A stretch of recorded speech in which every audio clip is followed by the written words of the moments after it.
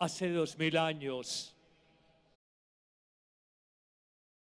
ocurrió un acontecimiento que marcó la historia humana y la historia del mundo.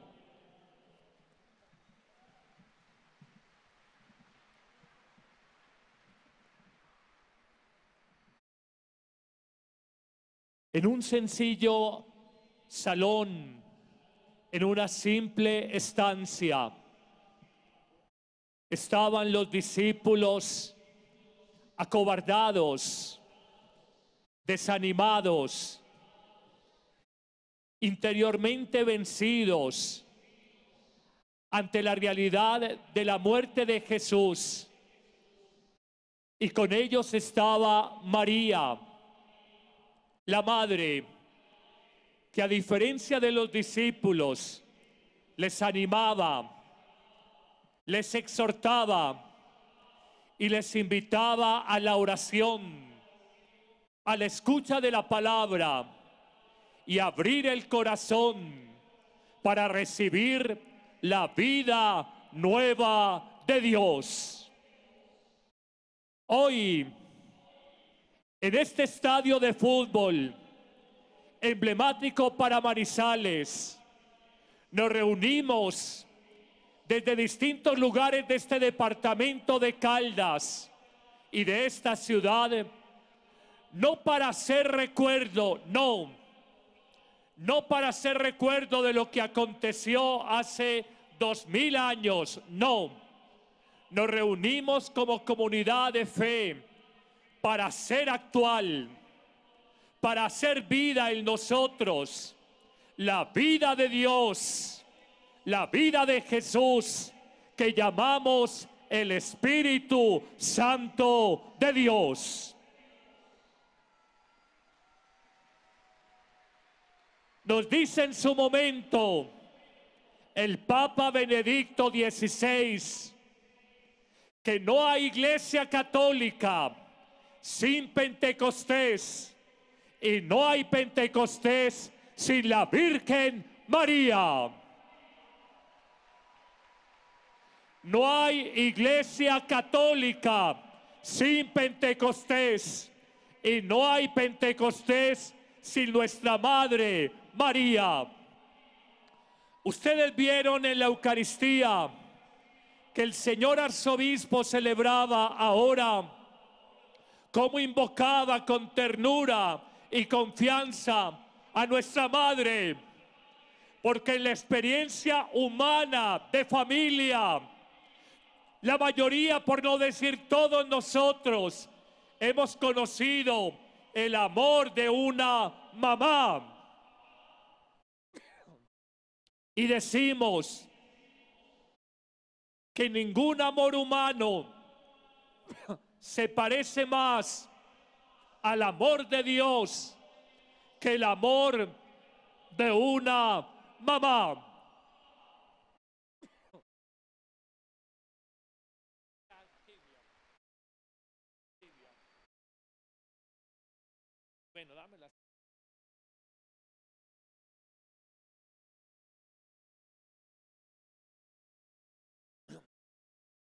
El Papa Benedicto en su momento decía que para vivir Pentecostés, la experiencia del Espíritu Santo, la vida de Dios en ti, se necesitaba estar en la fracción del pan, como se le llamaba la Eucaristía en el cristianismo naciente, y ahora celebramos la Eucaristía. Se necesitaba escuchar la palabra y escuchamos el Evangelio donde Jesús entrega el Espíritu Santo a sus discípulos. Nos dice también el Papa que además de la fracción del pan y escuchar la palabra, estar en oración y hemos estado en oración con este ministerio de música. Nos dice vivir en fraternidad y los movimientos se han reunido en comunión para trabajar juntos por este Pentecostés y nos dice finalmente, reunidos con María, todas las condiciones, estar con María en fraternidad o comunión, escuchando la palabra de Dios en espíritu orante y la fracción del pan, la Eucaristía, todo lo hemos vivido. Hoy te invito en el lugar de la tribuna donde te encuentras. Abre tu corazón y deja que la vida de Dios, la vida del Espíritu, llegue a ti. No dejes que las angustias, los miedos, las preocupaciones sean superiores a tu fe, a tu confianza en Dios y abrir el corazón a la acción del Espíritu Santo.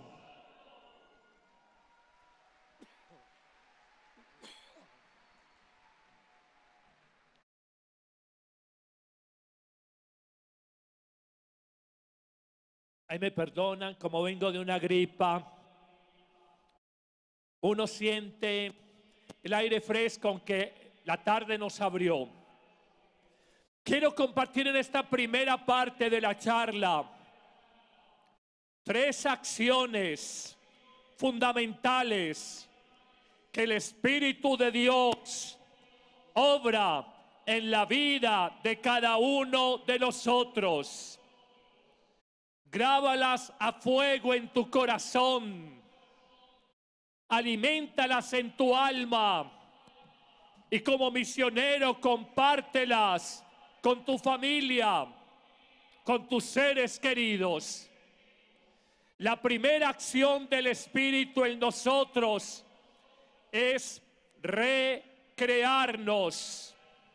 No hablo de recreo o descanso en la escuela o colegio re, volverá, crear, recrear, volvernos a crear. La vida me ha mostrado que los seres humanos a veces vivimos demasiado en esta carne, en esta naturaleza, en estos instintos, en estos deseos humanos. Y el Espíritu de Dios el que hoy clamamos y pedimos para nuestra vida, quiere que vivamos más espiritualmente, más en Dios, menos en los deseos o instintos de nuestra naturaleza. Voy a presentarles cinco ejemplos de lo que es la vida de Dios en nosotros.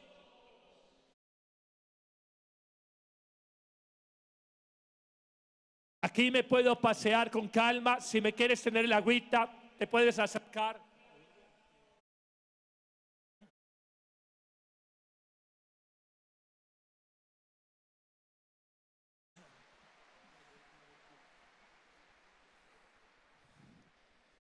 Quiero que estos cinco ejemplos graben en su alma. Vinimos a compartir lo más grande que tenemos, la fe, la fe como cristianos.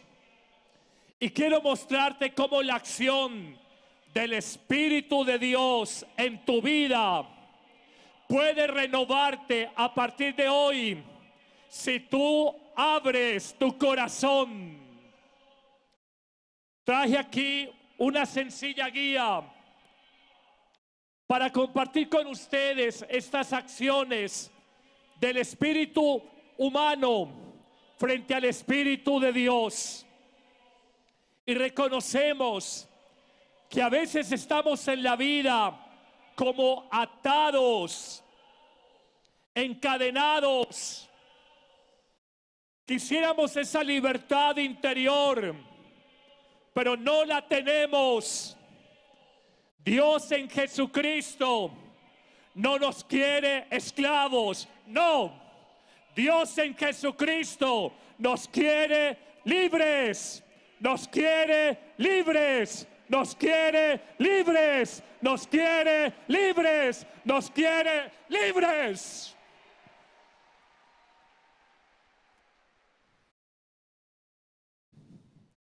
¿Cuántos de nosotros hemos evidenciado la verdad de vivir la vida cotidiana con impaciencias, con rabias, con turbaciones? Ese no es, no es el proyecto de Dios para tu vida.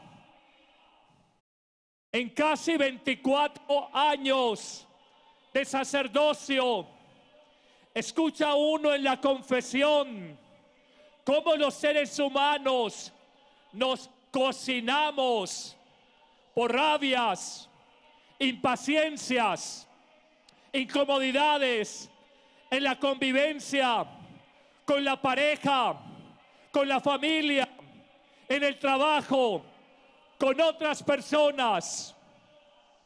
Vivir en el Espíritu y recibir a Pentecostés en la vida es vivir con paz.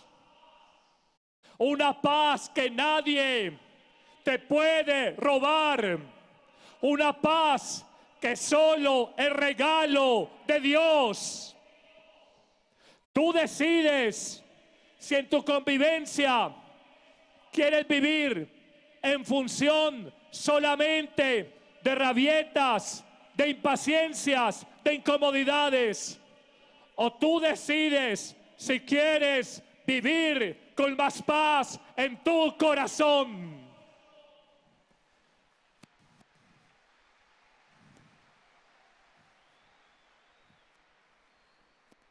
No te dejes meter goles en la vida. Tienes que ser un buen arquero.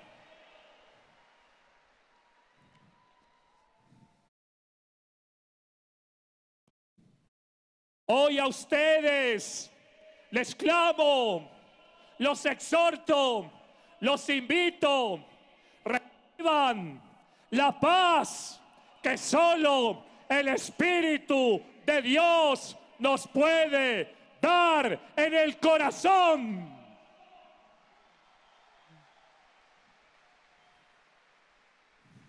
No puede ser que tu familia, tu relación de matrimonio, la cartera de estar discutiendo, peleándose por pequeñeces, no tiene sentido. Hay una lucha en la vida diaria con tu trabajo, con tus hijos, con tu economía, para que además de eso le agregues tener una discusión permanente en la casa que debería de ser lugar de paz, lugar de paz para ti.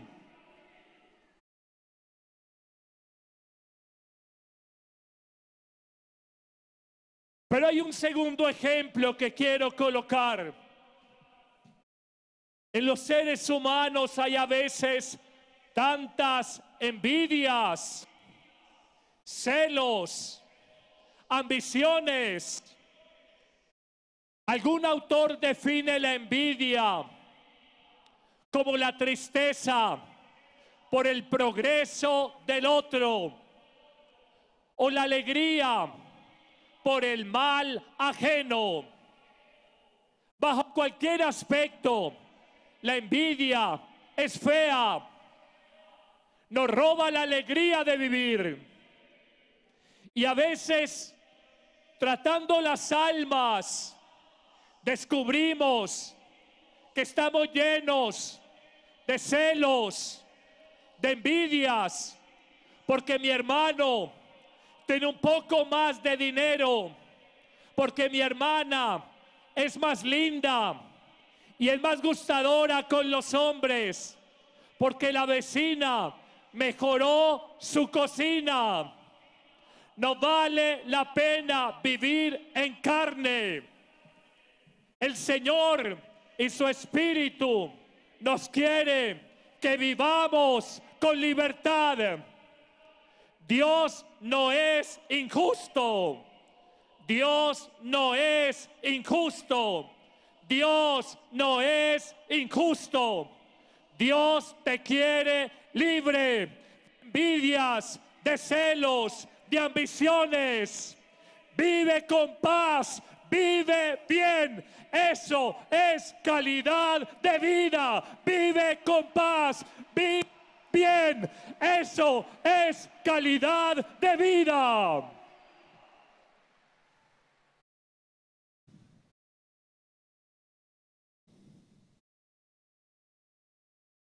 Todo el tiempo estamos en función de trabajar y está bien. Pero esta sociedad volvió una obsesión, obsesión, el tema de conseguir dinero. Pensamos que si no vivimos para trabajar, y acumular, no vamos a ser felices. La felicidad, mírenme la mano, pasa primero por el corazón, luego por el bolsillo.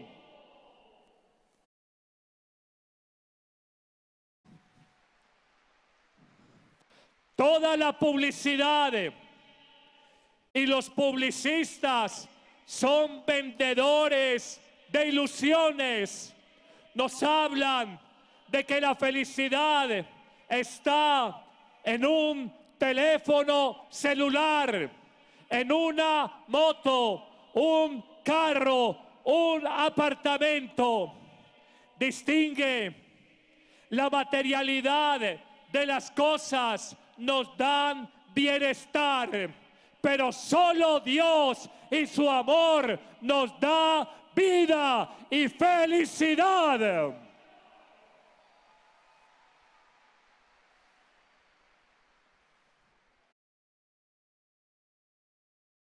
En una tercera ejemplificación de lo que es vivir muy humanamente, muy en carne, pienso cómo nos pasamos la vida murmurando de los demás, juzgando de los otros. El chisme, a veces sobre personas muy queridas y muy conocidas. Por delante somos sí, por detrás somos no. Dios sabe que los chismes y la murmuración roban el espíritu de comunión, de fraternidad en una comunidad. Los movimientos apostólicos o laicales aquí presentes no hablen de otros movimientos. Las familias no juzgues de tu hermana. No juzgues de tu cónyuge. Quien fácilmente señala y juzga a otro, difícilmente se conoce a sí mismo.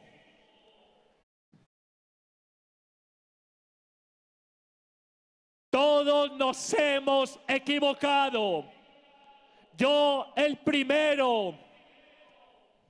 ¿Quién soy para juzgar a mi hermano? Si salió con una persona que no te gusta, si gastó en lo que no te parece, mirémonos con misericordia. El Espíritu Santo nos ayuda a romper esa dinámica humana de mirarnos tan carnalmente, de ser lobo para el hombre, fieras con los hermanos, murmuradores y chismosos con la persona que se ha equivocado. Hoy te invito, abre tu corazón, piensa en tu ser Recibe el Espíritu y pregúntate, ¿quién soy yo que tengo defectos, para juzgar los defectos de mi hermano.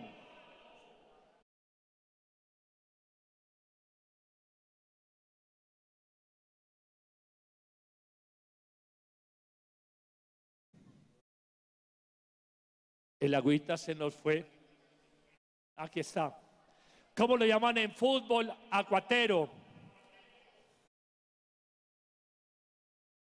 A la salud de todos.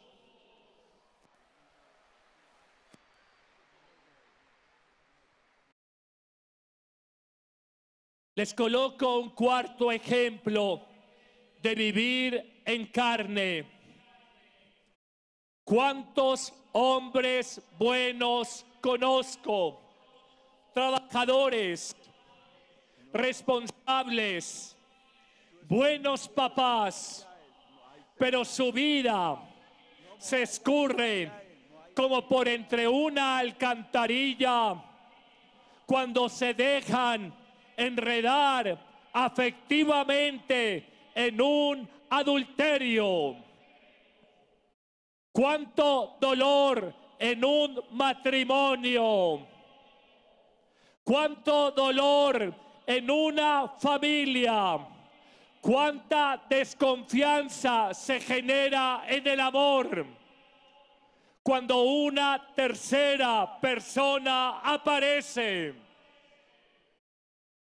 Puede ser un hombre o hoy es común una mujer que deja meter una tercera persona en su relación matrimonial. Qué infierno de vida, qué doble vida, qué sufrimiento interior. Por unos minutos de caricias, besos, abrazos, gozos con la persona que Dios no te ha dado el matrimonio. Sé que es una debilidad humana muy fuerte. Siente la alegría del Espíritu ayudándote a ser fiel. Siente la alegría de la fidelidad en tu matrimonio. Siente la alegría de ser fiel en el amor.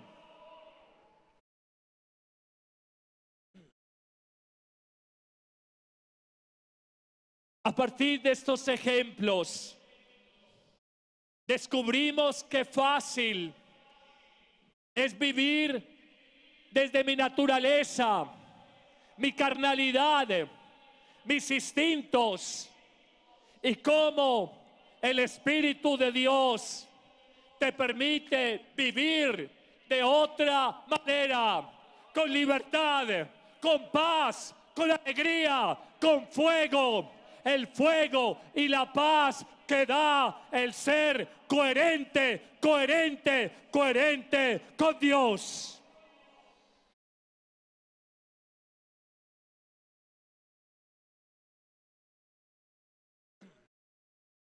Coloco un último ejemplo en este primer punto de tres que queremos compartir con ustedes.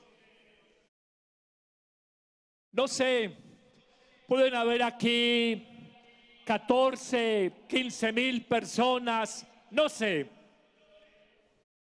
Yo lo veo desde este punto de la cancha como unos punticos pero detrás de cada uno de ustedes hay una historia, hay una vida por conocer y respetar. Y a veces me duele, me duele el alma cuando veo una persona que tiene todo en la vida para vivir bien pero está amargada porque hay rencores, rencores, rencores en su corazón. El Espíritu de Dios quiere que sanes, que te cures de los resentimientos que hay en tu alma. Una vida con rencores no se disfruta, se padece, no vives, sobrevives. Sánate, perdona. Si no lo haces por la otra persona, hazlo por ti. Pide el Espíritu Santo y dile que te sane de los resentimientos, rabias, rencores, venganzas, mala leche que hay en tu corazón. No vale la pena, no vale la pena, no vale la pena, no vale la pena.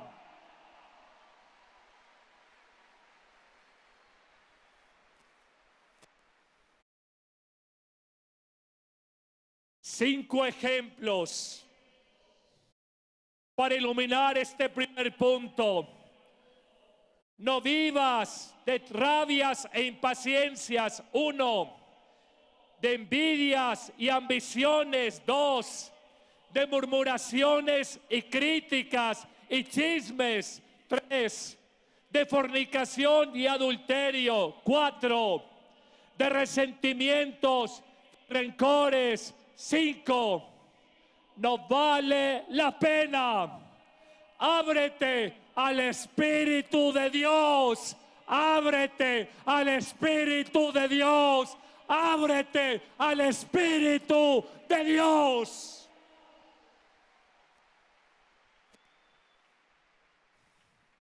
Calidad de vida no es un carro solamente, un apartamento o tener dinero para ir a un buen restaurante.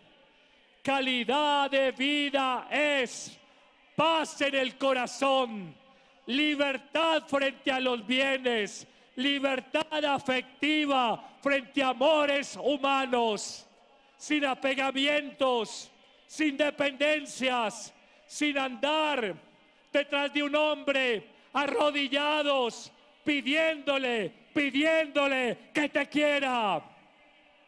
Te quiere Dios, te quiere Dios, te quiere Dios, te quiere Dios, te quiere Dios. Y es el querer, el amor más grande en la vida.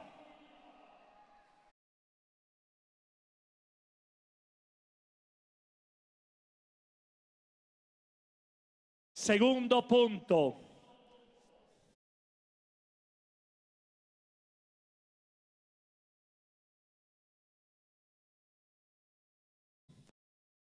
Primera acción del Espíritu Santo en nuestra vida, recrearnos, hacernos nueva creación, nueva criatura.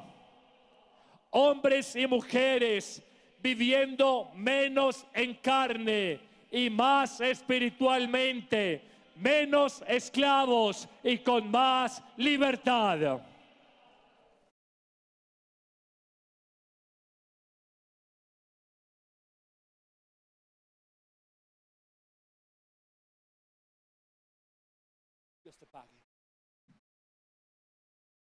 Segunda acción del Espíritu, del Espíritu de Dios en nuestra vida. Vivificarnos. Padre, ¿qué significa eso de vivificarnos? Sentir que estás vivo sentir que estás vivo. Yo recuerdo que joven vi una película de cine, un clásico en el género de las películas de terror. La película se llamaba Zombie. Y a veces se me da en pensar que muchos seres humanos hoy tienen vida biológica, vida orgánica, y como el zombie de la película de cine, hasta caminan y se mueven, pero por dentro están muertos, porque no hay el amor y el fuego de Dios en sus vidas.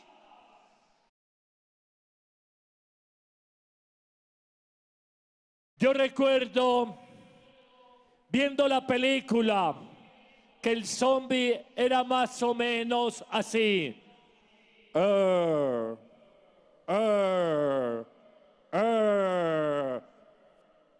Caminaba como un autómata. Parecía que tenía vida biológica, pero por dentro está muerto.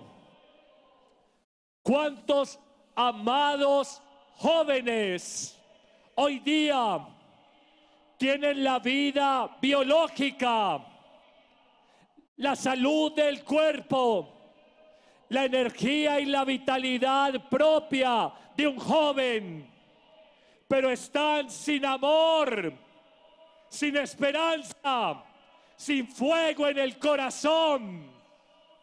La vida verdadera es la que llevamos dentro. La vida auténtica es la de Dios en nosotros. Dice bellamente la carta de Pablo a los romanos 5, 5.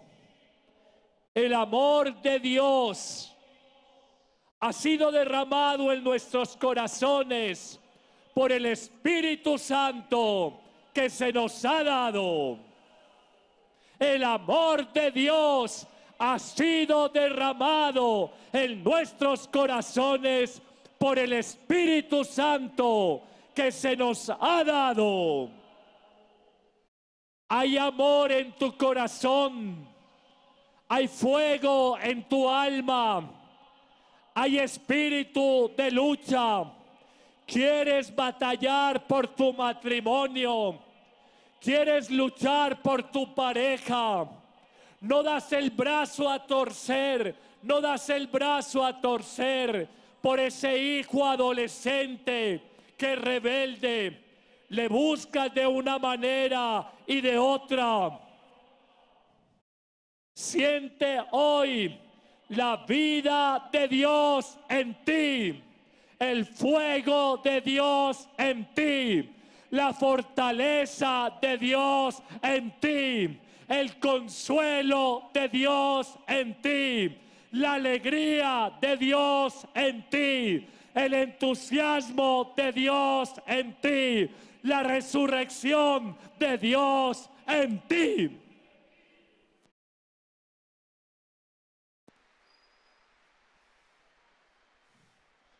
Hablar del Espíritu Santo no es teorizar, no es conceptualizar, no es una abstracción, es la vida de Dios, el fuego de Dios en ti.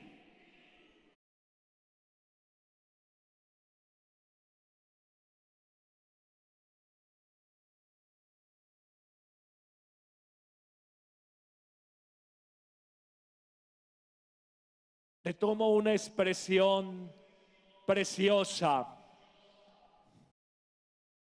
El que no ama está muerto.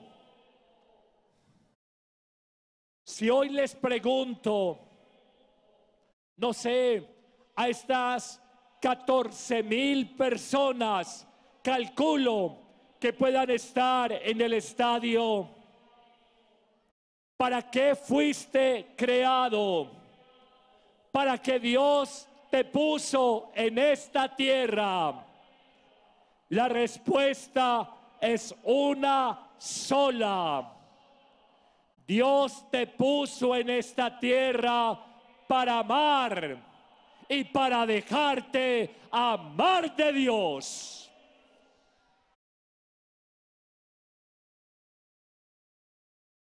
Dios te puso en esta tierra para amar y para dejarte amar de Dios. ¿Quién te metió en la cabeza que solo viniste a este mundo a estudiar, trabajar como burro en la costa, cargando baldes de agua, envejecerte, deteriorarte, jubilarte y morirte?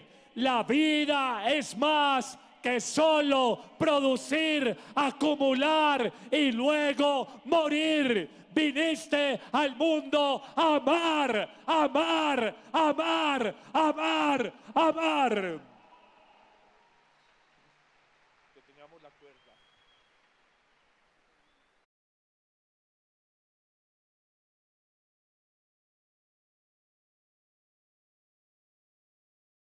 El siempre bien recordado Papa Benedicto afirmaba, solo el amor redime, solo el amor salva.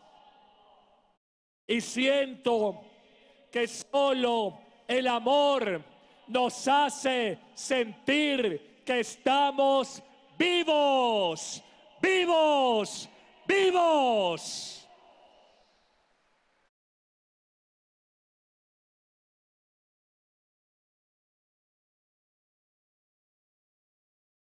Detrás de una persona rebelde, agresiva, difícil de temperamento, probablemente hay un ser humano herido, lastimado por una historia. No hay un remedio más eficaz que darle amor. El amor sana, sana, sana. El amor libera, desata, libera. El amor levanta. El amor ayuda a salir adelante. El amor vivifica, vivifica, vivifica.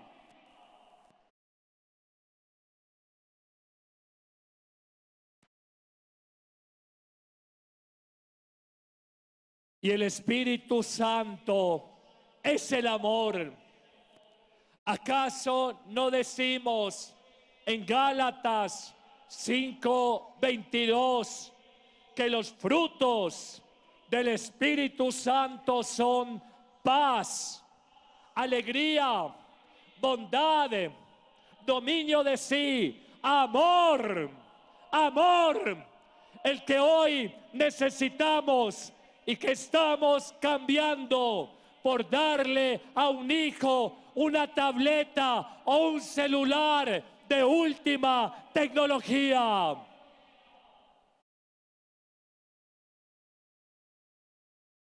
Yo no sé por qué en Día de Madres, el segundo domingo de mayo, decimos que a la mamá se le da amor regalándole una lavadora, una nevera, un microondas.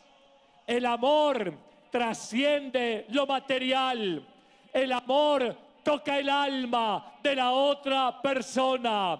El amor mira lo esencial. El amor es abarcante. El amor no se empobrece quedándose en cosas.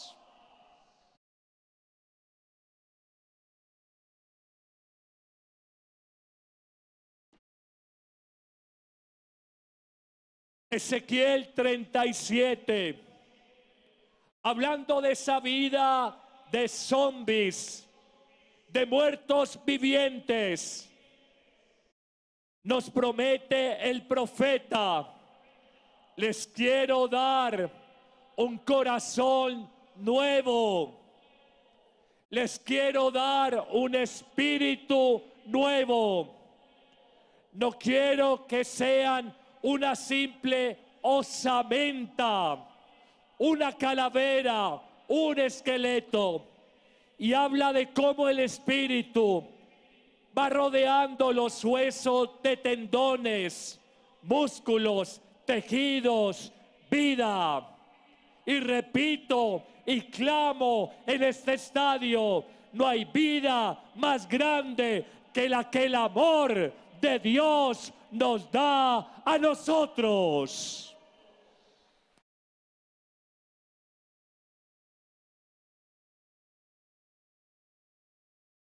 Vendría una tercera y última acción del Espíritu de Dios, del Espíritu Santo en nuestra vida. Y además, uno, hacernos criaturas nuevas. Dos, ¿qué dijimos como segundo punto? vivificarnos, hacernos sentir que estamos vivos.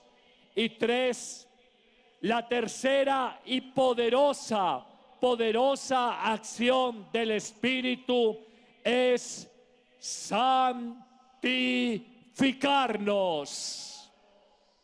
Santificarnos. Santificarnos. No olviden lo que les voy a decir. No olviden, por favor, lo que les voy a decir. La historia de la iglesia, la historia del mundo, no la han conducido los papas y los obispos, no la historia de la iglesia y del mundo la han conducido los papas y los obispos santos. La historia de la humanidad no la han conducido los sacerdotes, las religiosas o los laicos. No la historia de la sociedad y de la humanidad la han guiado, iluminado y construido los sacerdotes, las religiosas y los laicos santos.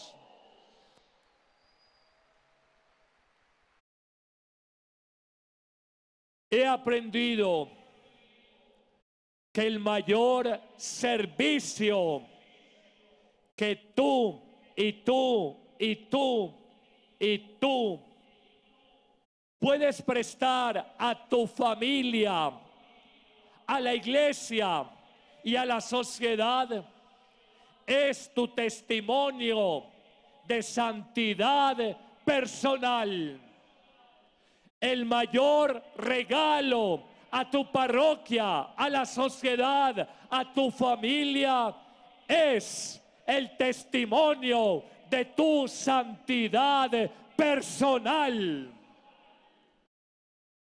Una persona santa naturalmente da amor, libera, porque ella es libre interiormente, sana con sus palabras y su trato compasivo a los demás, porque Dios ha sido compasivo con esa persona. No lo dudes. A veces en la iglesia hablamos mucho de un amor de Dios que no conocemos, de un fuego divino que no tenemos de un perdón del cielo que no damos a los demás. Solo el que ama, Solo el que perdona siempre, solo el que entiende la vida como donación a los demás, puede iluminar su familia, su sociedad con la luz de su santidad personal, la santidad que el Espíritu de Cristo comunica a su vida personal.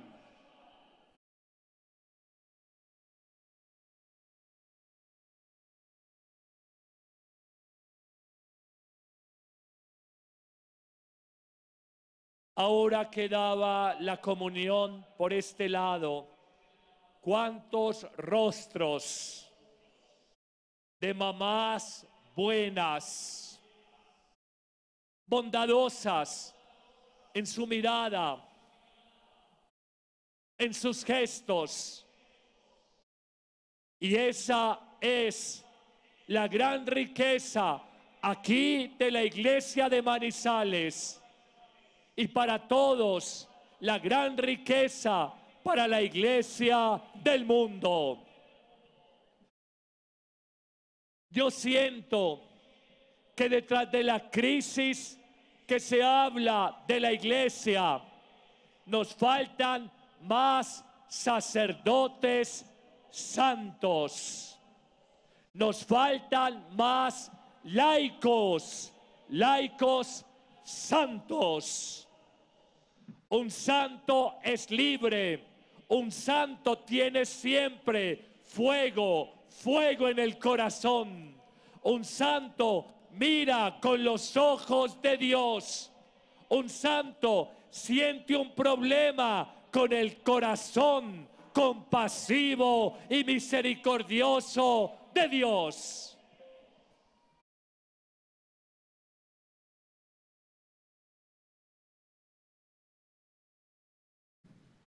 Es que estamos en desventaja. Es uno frente a 14 mil. Estoy en desventaja. Quisiera caminar por la tribuna. Quisiera echarles este agua.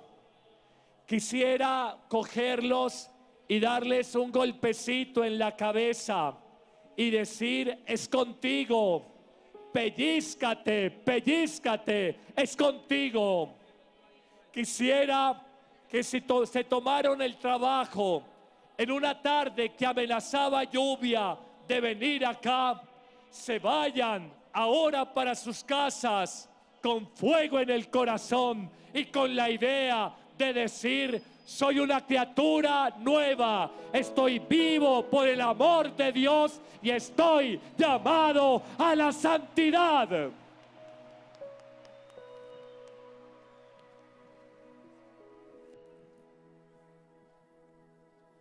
Ahora uno que gritó muy fuerte y se oye en la tribuna, que viva el Espíritu Santo. Si está por ahí, tiene la voz que lo clame.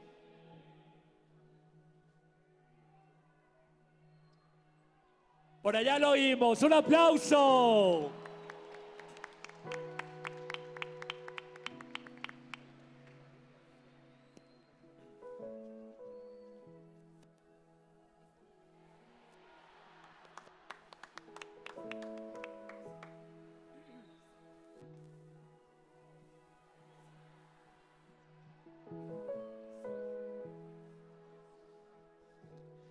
No soy Jorge Barón, pero les voy a decir mi gente linda de Marizales. No les voy a dar la patadita de la buena suerte, pero sí deseo todo el fuego de Dios para sus vidas en esta tarde.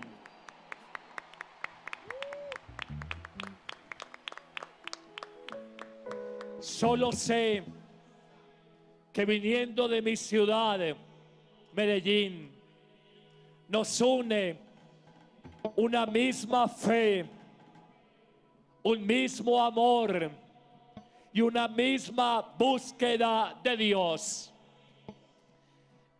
Entiendo que vivimos tiempos cambiantes, en lo que hoy se llama la sociedad secular y que es entendida como un tipo de ser humano, de matrimonio o de familia que pretende vivir su vida sin Dios.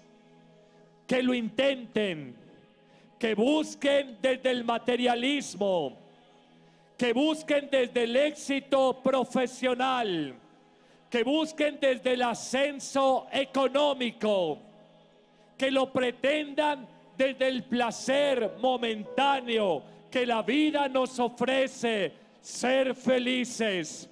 Pero nosotros, frente a ese hombre secular, decimos, Dios no nació ayer. El cristianismo tiene dos mil años. Está en 200 naciones. Ha respondido a millones y millones y millones de personas a lo largo de los siglos. Solo sé que mi Señor vive, que está conmigo, que ha resucitado y que me ha enviado el Espíritu Divino para ser un hombre, una mujer nuevos, nuevos, nuevos.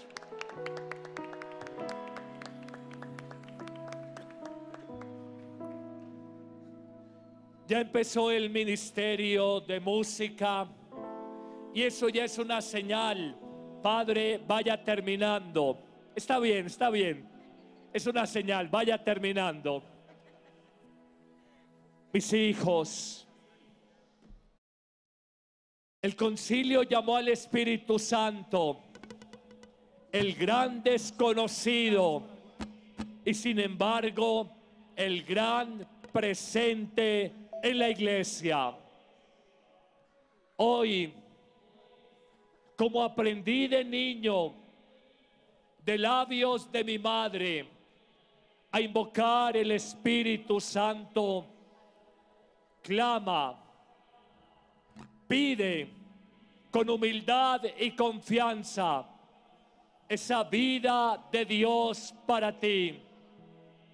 Y descubre que si lo recibes verdaderamente en tu corazón, tu vida será transformada desde lo más profundo de tu alma y podrás iluminar, liberar y sanar la vida de tu familia, de tu pequeño mundo. Créelo, créelo, créelo y verás los milagros de Dios.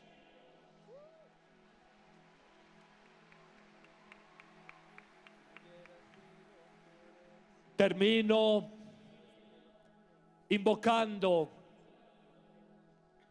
a la Madre de Dios. Ustedes tal vez no la alcanzan a ver. Es una preciosa y delicada imagen de la Virgen Nuestra Señora de Fátima. A propósito de los 100 años de sus apariciones que han empezado a celebrarse el pasado mes de mayo. La llamamos con el arcángel, la llena de gracia. ¿Qué significa esto? La llena del Espíritu de Dios. A ella, con inmensa confianza, encomendémonos. No en vano, San Luis María Griñón de Montfort la llamaba hija de Dios Padre, madre de Dios Hijo y esposa de Dios Espíritu Santo. Toda la Trinidad y su misterio confluyen en la Madre de Dios. A la Madre entrego con sencillez y confianza la vida y la familia de cada uno de ustedes y le pido a ella, como la distribuidora, la dispensadora de todas las gracias, de todos los dones, de toda la vida del Espíritu, que nos acompañe, nos inspire y nos llene de Dios. Santa María, Madre de Dios y Madre nuestra, te invocamos con sencillez, sabiendo que tienes el título más grande, mamá, mamá. Hoy te pedimos por todos los que estamos en este estadio, bendícenos, guíanos, protégenos y como la llena de gracia, la llena de Dios, que el Espíritu Divino, el fuego de Dios, llegue con plenitud a la vida de todos nosotros. Amén. Amén. Amén. Amén. Regálale un fuerte aplauso al Señor, a la Reina del Cielo. En esta tarde, Padre Carlos, queremos expresar nuestra gratitud al Señor por su presencia entre nosotros. Máxime, que mañana el Padre Carlos está de cumpleaños. El mejor regalo que Manizales puede darle, Padre Carlos, es elevar al cielo una oración por usted. Que el Padre Jesús Orjuela va a elevar al cielo por su vida, por su ministerio. Manizales, Padre Carlos lo quiere. Está en nuestro corazón, pero sobre todo está en nuestras oraciones. Aplaudimos al cielo por su vida, por su ministerio, porque es un regalo de la ternura de Dios para nosotros.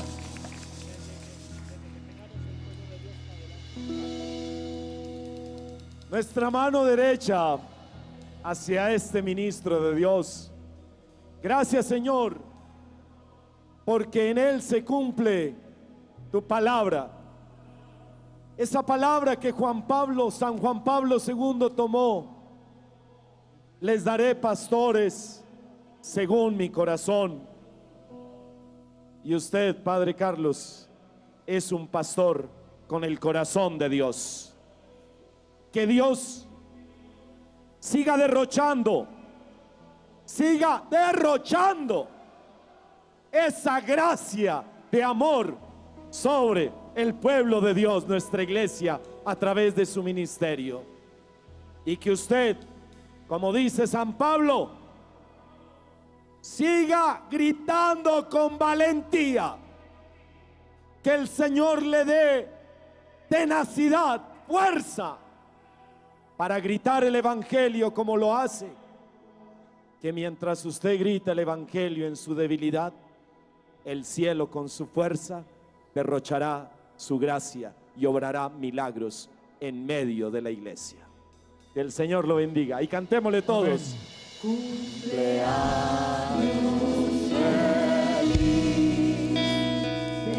Deseamos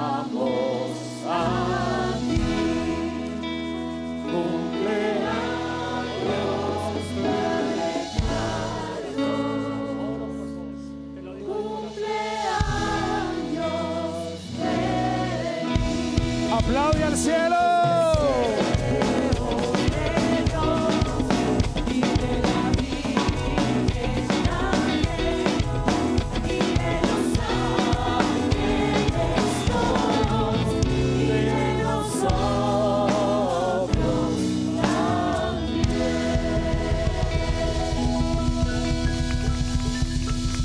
Gracias, Padre Carlos, por estar entre nosotros. Esta es su casa.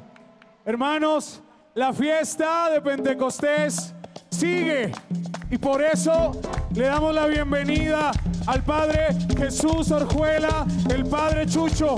Padre, la ciudad, la capital del afecto, la ciudad de las puertas abiertas, Manizales, le dice bienvenido en el nombre del Señor.